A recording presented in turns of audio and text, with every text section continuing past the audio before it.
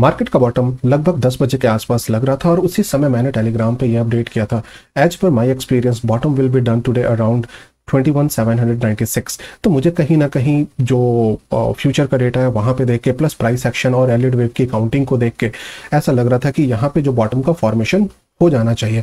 अभी data subdued है। जैसे ही end of the day F I S D I S का डेटा अपडेट होगा, मैं आप लोगों के साथ ज़रूर शेयर करूँगा, या तो टेलीग्राम पे, या तो मैं आपके साथ कम्युनिटी टैब पे वो डेटा शेयर करूँगा।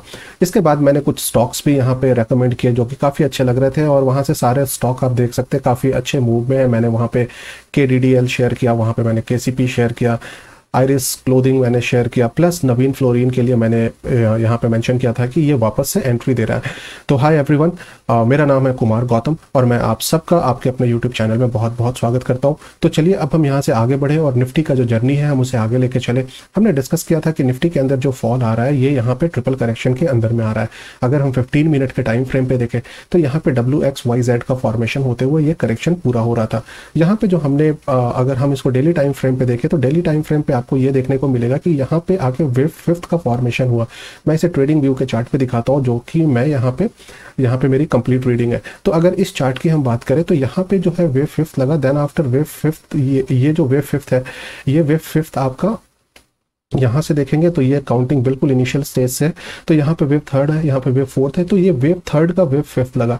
इसके बाद हमें यहाँ पे करेक्शन देखने को मिला जो कि ए बी और सी के नेचर में था। अगर आप देखेंगे तो इसी चीज़ को मैंने वहाँ पे एक्सप्लेन किया कि जब ये ए बी और सी के नेचर में यहाँ पे करेक्शन हो रहा है और जो करेक्शन है, ये यहाँ पे फ्लैट करेक्शन है क्योंकि बी ऑलमोस्ट हंड्रेड के आसपास का लेवल है और वहाँ से हमें रिट्रेसमेंट देखने को मिल रहा है।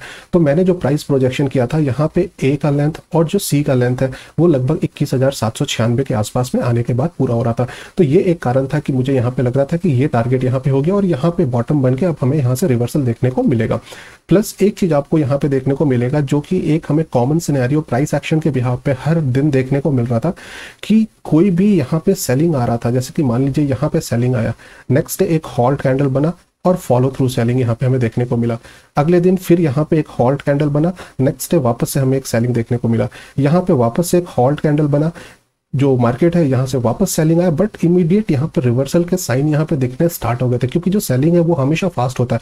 आपको यहाँ पे इन कैंडल में कहीं पे भी रिवर्सल देखने को नहीं मिलेगा तो बट यहाँ पे रिवर्सल देखने को मिल रहा था कि यहाँ पे रिवर्सल बनने के चांसेस हो रहे थे और जो प्राइस है वो नीचे जाने से इग्नोर कर रहा था। यहाँ पे जो हमने ये वाली जो लेग है, इसको जो काउंट किया, यहाँ पे one two three four five तो यहाँ पे ये जो ट्रेंड लाइन है वेब सेकंड का और वेब फोर्थ का ट्रेंड लाइन है, जो मैंने पहले भी आपके साथ डिस्कस किया था कि ये ट्रेंड लाइन ब्रेक नहीं होना चाहिए और इसके नीचे क्लोजिंग नहीं आनी चाहिए। तो जो क्लोजिंग है, हमें ट्रेंड लाइन के ऊपर भी आते हुए दिख रही है प्लस 361 परसेंट मतलब 22059 के ऊपर भी हमें ये क्लोजिंग आते हुए दिख रही है।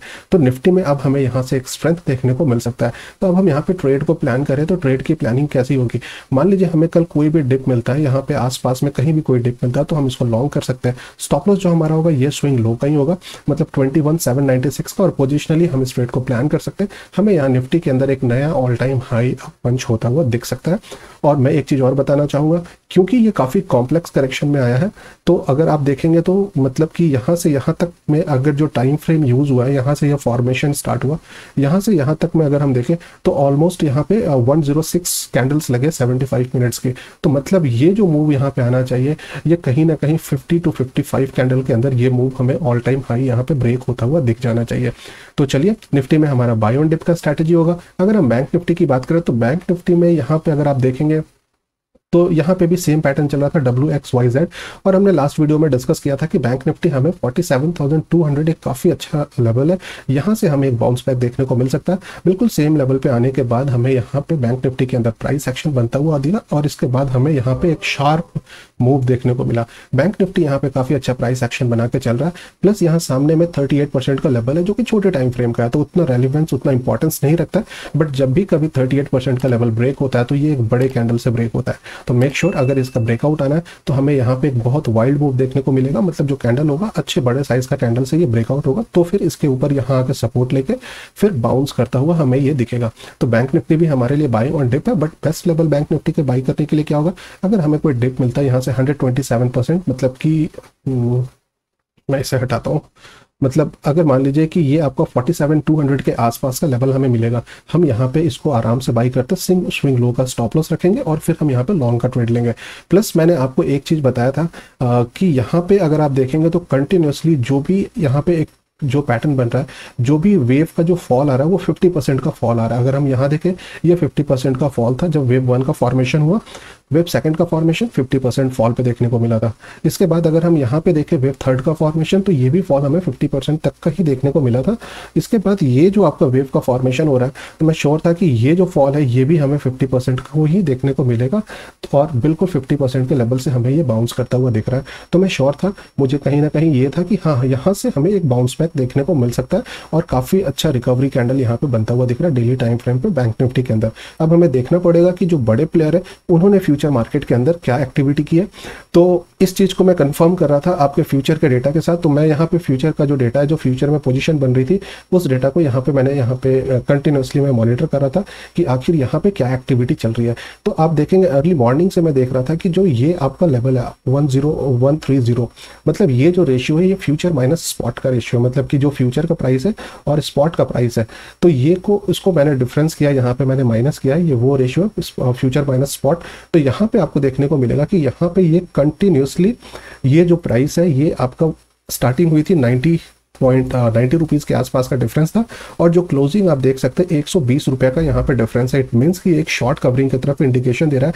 यहाँ पे आपको 106, 102, 1010 मतलब कहीं पे भी ये जो आरओसी का जो यहाँ पे ये था कि फ्यूचर माइनस स्पॉट का रेशियो ये कंटिन्यूसली इंक्रीज होता हुआ दिख रहा था। यहाँ पे 134 आपको देखने को मिलेगा। तो ये कंटिन्यूसली आपका इंक्रीज होता हुआ देखने को मिल रहा था। तो ये एक, मुझे एक अलग से कॉन्फर्मेशन दे रहा था कि हाँ एक शॉर्ट कवरिंग हमें यहाँ पे देखने को मिलेगी और शॉर्ट कवरिंग एक्सपेक्टेड है। तो इस वजह से मैंने वहाँ टेलीग्राम पे अपडेट किया था कि यहाँ से जो मूव है, वो काफ़ी अच्छा मूव देखने को मिल सकता है और रिवर्सल यहाँ से हो सकता है।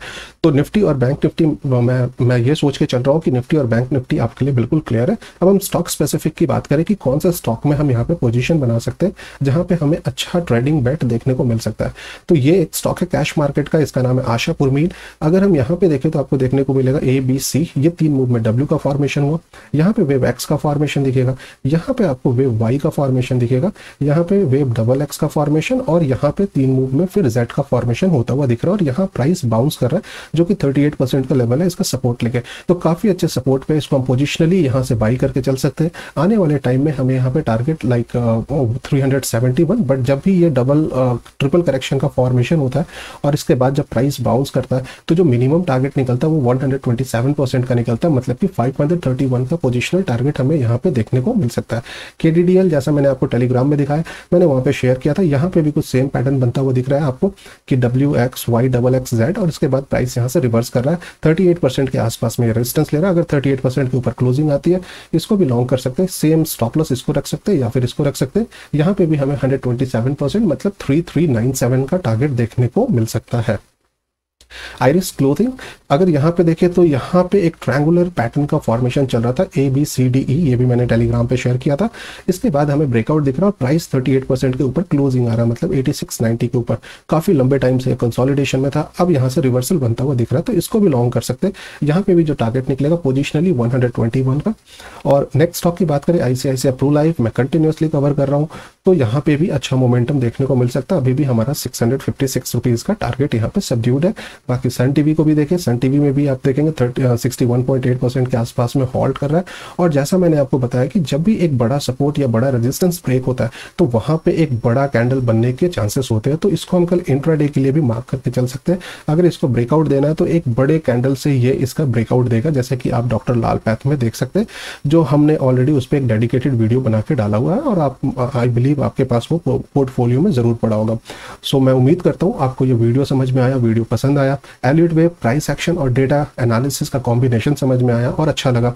अगर वीडियो पसंद आया तो वीडियो को लाइक ज़रूर करें चैनल को सब्सक्राइब करें, वीडियो को ज़्यादा से ज़्यादा शेयर करें। Thanks for watching keep learning and keep earning